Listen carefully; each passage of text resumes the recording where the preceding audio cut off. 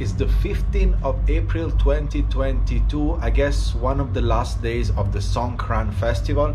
I'm here in Bangkok. I made already a video where I show you how is Bangkok in April 2022. I'll put the link down below if you haven't checked it out yet. But in this video, I want to bring you to Khao San Road and I want to show you how is Khao San Road at night time during the Songkran festival. Actually, I just booked this hotel right here in Khao San Road. So we are already in Khao San Road. It's just down there. We're gonna go down, we'll see the situation in the late afternoon, and then we'll just flow into the evening and I'll just walk you through Khao San Road during Songkran at night time. So sit back, relax, and enjoy this video. It's like Moroccan style. Let's go upstairs to the swimming pool. Let's check it out. Nice view of Bangkok here. Check out the swimming pool.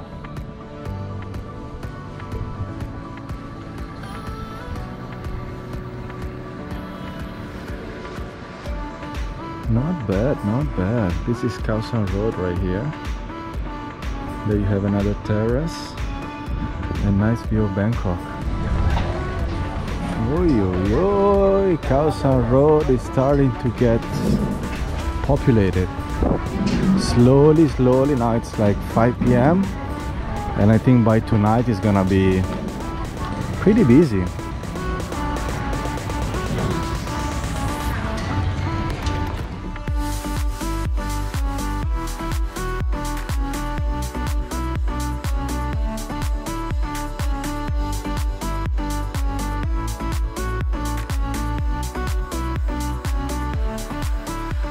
Yeah, what I noticed here in Khao San Road, uh, I found a lot of media, a lot of television, a lot of people streaming, uh, national television, international television, because obviously Khao San Road is the main spot for the Songkran. It's like the spotlight of Thailand.